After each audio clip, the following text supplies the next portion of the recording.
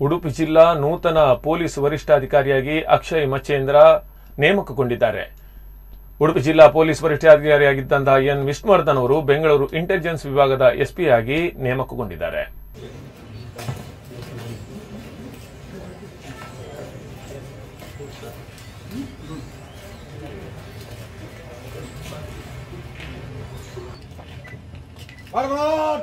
General salute! Please!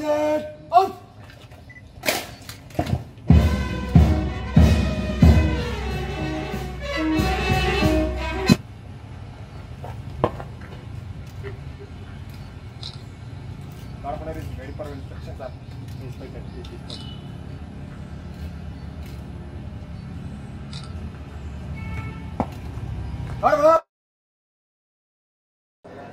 ಇವತ್ತು S P ಉಡುಪಿಯಾಗಿ ಚಾರ್ಜನ್ನು ವಹಿಸ್ಕೊಂಡಿದ್ದೀನಿ.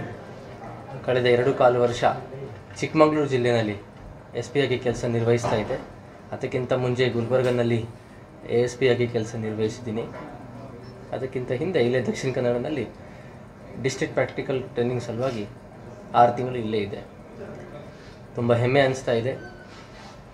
I feel myself privileged and lucky to serve in this district Udupi ಜಿಲ್ಲೆಗೆ ಒಳ್ಳೆ ಹೆಸರಿದೆ.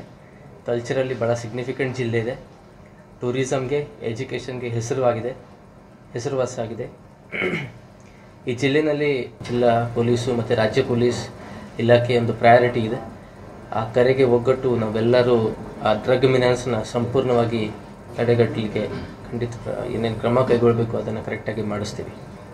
ಅದರಿಂದ most important ಅಂದರೆ there are two things ಒಂದು, ಆ ಡ್ರಗ್ಸ್ ಮಾಫಿಯಾದಿಂದ ಬರ್ತಕ್ಕಂಥ ಹಣ ಎಲ್ಲ ಕೆಟ್ಟ ಚಟುವಟಿಕೆಗಳಿಗೆ ಮತ್ತು ಪ್ರೊಬಬ್ಲಿ ಟೆರರಿಸ್ಟ್ ಫಂಡಿಂಗ್ ಕೂಡ ಆಗ್ತಕ್ಕಂಥದ್ದು. ಸೆಕೆಂಡು ಅದರಿಂದ ನಮ್ಮ ಯುವ ಪೀಳಿಗೆ ತುಂಬ ಹಾನಿ ಆಗ್ತಾಯಿದೆ ನಮ್ಮ ರಾಷ್ಟ್ರದ ಸಂಪತ್ತಿನೇ ನಮ್ಮ ಯುವಕರು ಅಂಥ ಯುವಕರನ್ನ ಹಾಳು ಮಾಡ್ತಕ್ಕಂಥ ಇದು ಒಂದು ಕೆಟ್ಟ ಚಟುವಟಿಕೆನ ಖಂಡಿತ ನಾವು ತಡೆಗಟ್ತೀವಿ.